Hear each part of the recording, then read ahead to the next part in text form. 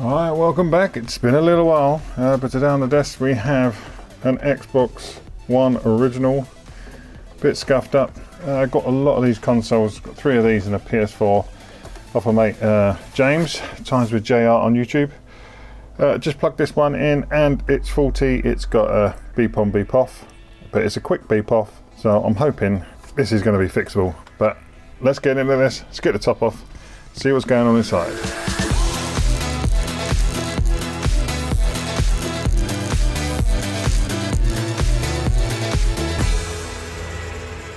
Just film this on another camera here. So we've got our power brick over to the left. Um, currently we're plugged in and we have an orange light, which is never a good start. Power button. Just a, here's a quick on and off. And if we do the light, see what that's doing. Goes to a white and back to orange. So let's see if this is a short circuit or not. See if it's a MOSFET or something. Let's take apart and have a look. Right, I won't bore you with the details of getting this apart as there's loads of videos that show you that. Holy moly, that's a lot of dust. HDMI ports and stuff look good. It's been opened before, now there's a surprise. Made that look harder than it should.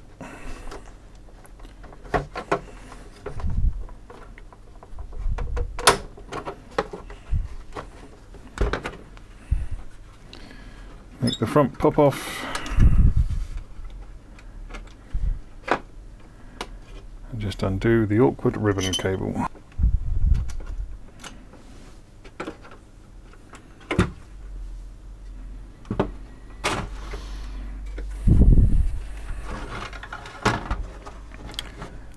I won't lie, it took me longer to get the lid off than it should.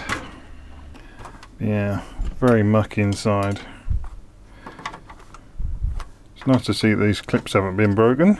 Most of the time you take these uh, front panels off and all these clips have been destroyed and split.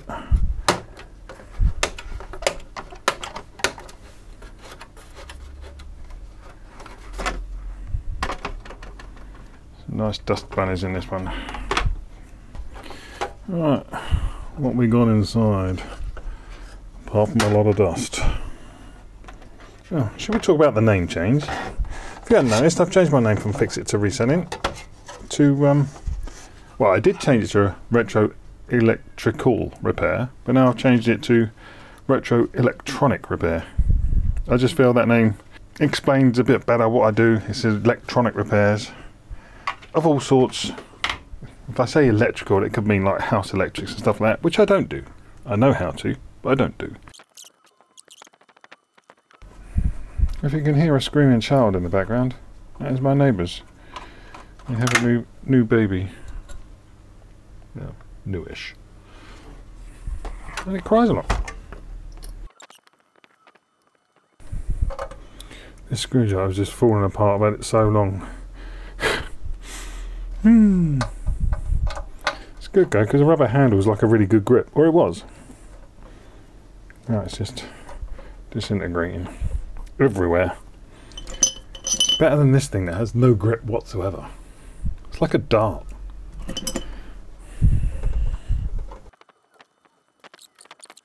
Nicely blocked vents.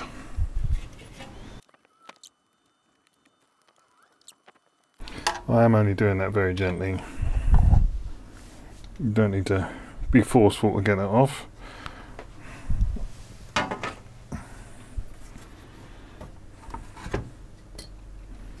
Right, very dusty, absolutely dry as a bone thermal paste, non-existent. Right, let's clean off this MOSFET area. Let's have a look, see if we can see anything going on in here.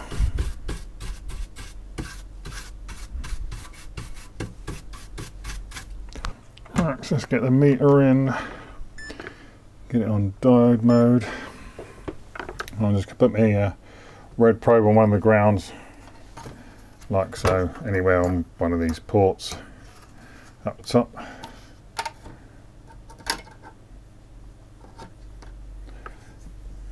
right and then we're going to test test the gates on these MOSFETs. So that's 0.6, that's reading good.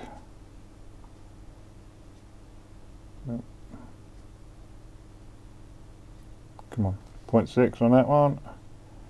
0.6 good. Missed it.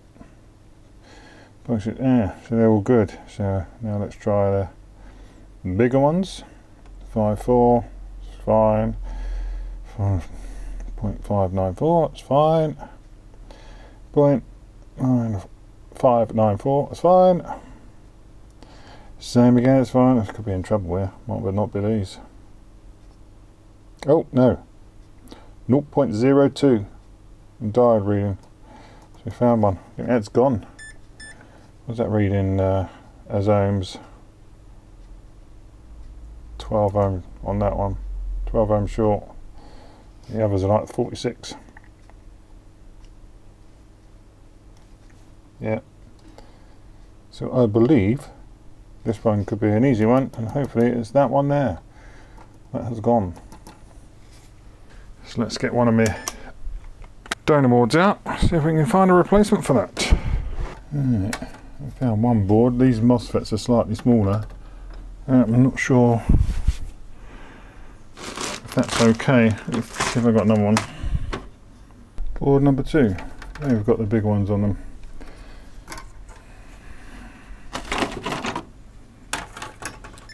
Right, quick test of these ones on here. I've borrowed a few already by the look of it. Got flux all over the board.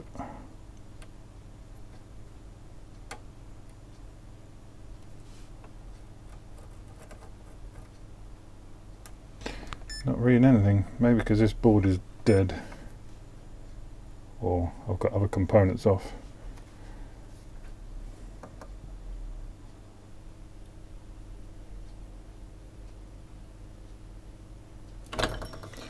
Well, I think we're reading all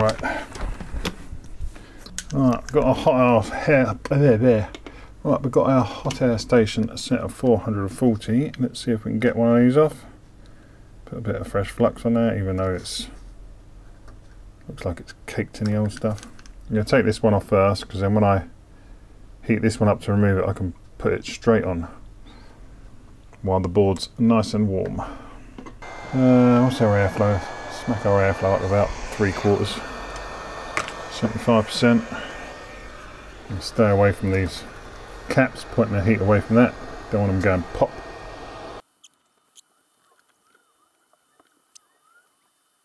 Let's pop my temperature up to 450. See all the solders mounting on everything else. There we go, we're off. You don't want to pull it too hard because you end up pulling the uh, traces off the board. Doesn't matter too much on this one.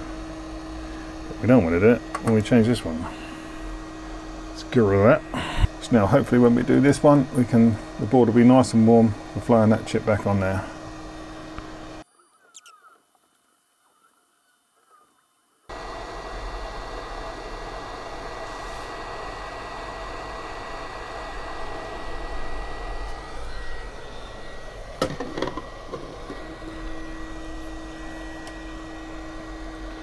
Right, that one's off. While the board's nice and warm, just going to get some fresh solder on here. I was just going to sleep. Of course it has. Probably the wrong tip for this.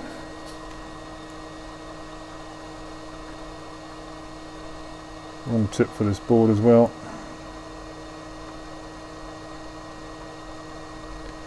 I get nowhere near enough heat in there. I'm alright at the top of the screen.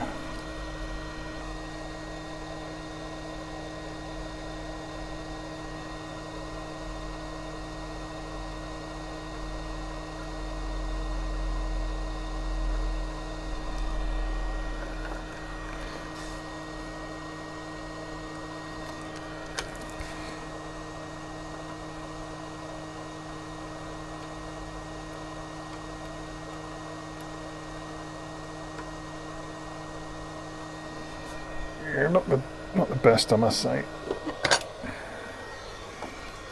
Not the greatest idea. Using the wrong tip.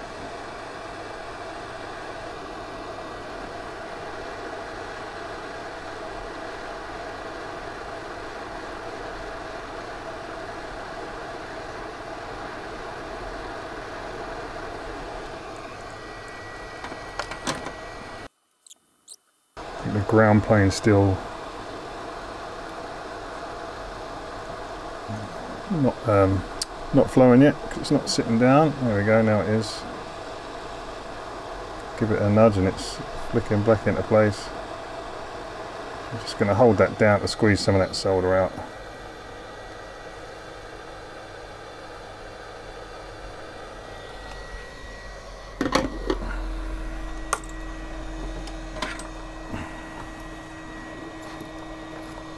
And with my soldering iron with a stupid sized tip on it, Try and just get them little balls away. There we go.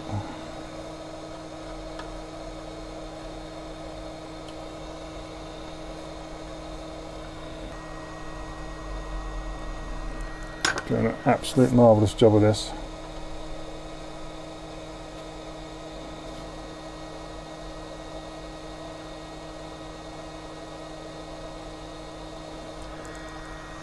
That'll do.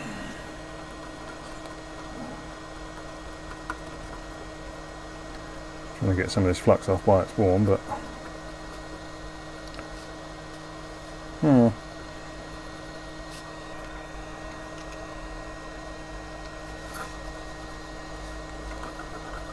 Shouldn't really put cold IPA on there while it's still hot, but I'll try and get this cleaned off while it's warm.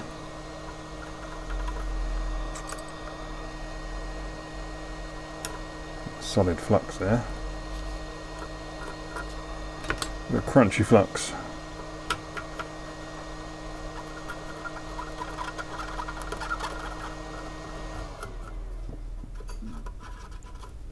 Yeah. Hot air station's gone to sleep now, nice and quiet. Yeah, I think that looks good. Let's just inspect it a little bit closer. Yeah, looks good flat to the board. Let's bring our multimeter back in.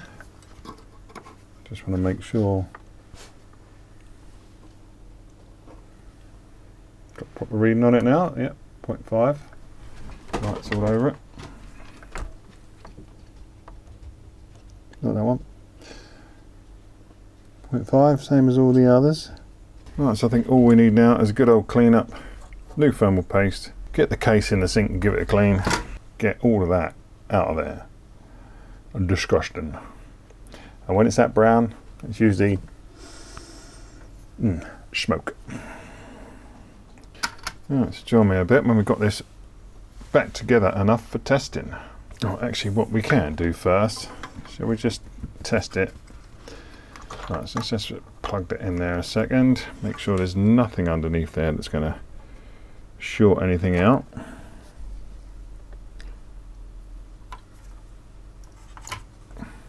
That won't short anything. Uh, right, let me just bring you the power supply over. So before when you turn it on, um, usually get a white light and then it'll go orange if there's a problem. So we turn it on now, orange white to a white light and it stays white before it was immediately going to orange or red. Will go to orange after a while I think to say it's in standby there but it's not instant. So it will go to orange, the light, but if it's going white then orange very quickly, then you know it's, or can indicate a short. Right, there's hopes for this board yet. Right, let's give it a good old clean.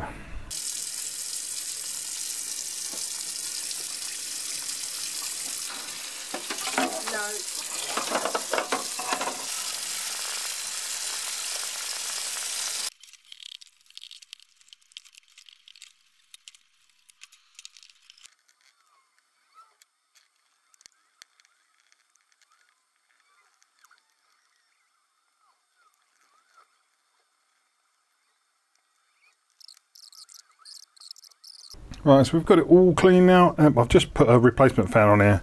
I just didn't want I didn't want to go into cleaning this up. So I've just taken that off and put a clean fan I have on there. That's all cleaned up.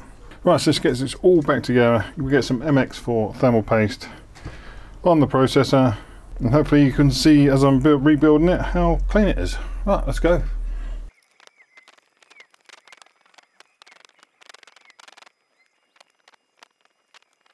Forgot to clean these. Alright, just thinking about the state it was in, I'm going to open the disk drive and clean that. There's no point doing all this work and leaving the uh, disk drive dirty. The amount of dust that was on this doesn't actually look too bad in there.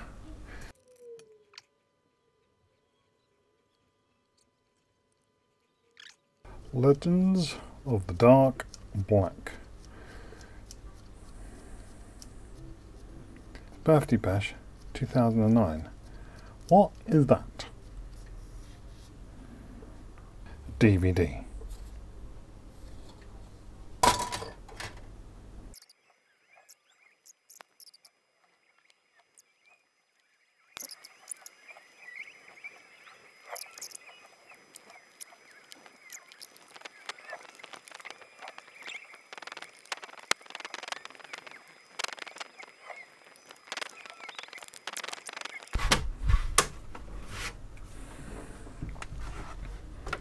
All done. Looking beautiful.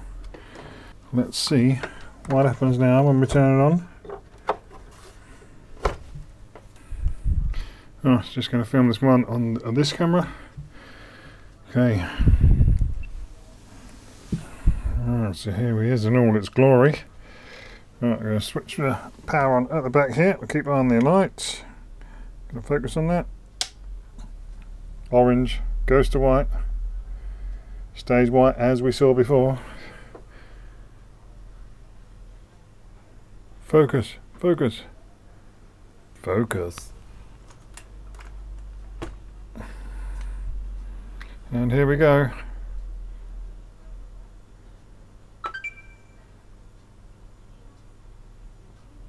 Stays on.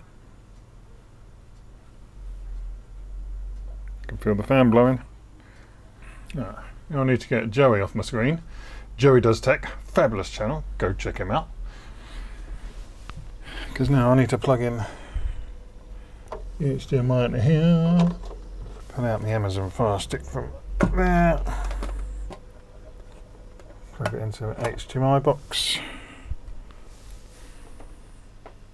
And there we go.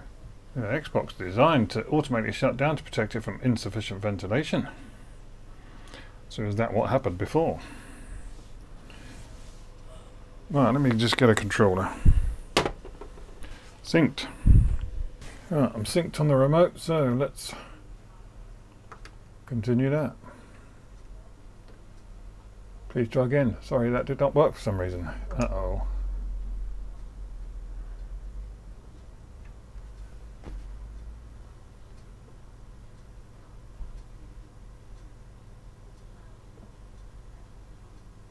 And we're on.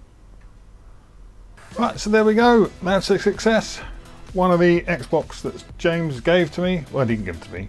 So I paid James uh, 60 quid for, was it three Xbox Ones and a PS4. Uh, this one had trouble um, with just with the MOSFETs, with just with one MOSFET, so that was easy to change. Um, the other two Xboxes kind of like working. I think I've, I've, had to reset them, and they seem to be working okay now. Uh, the PS4 will be in the next video. Um, it turns on, but it won't accept any discs or anything like that. So thanks for watching. Hope to see you in the next one. The PS4 will be next. So please, if you like this video, give us a thumbs up, leave us a comment down below. Tell us if you like the new name, Retro Electronic Repair. And I shall see you in the next one.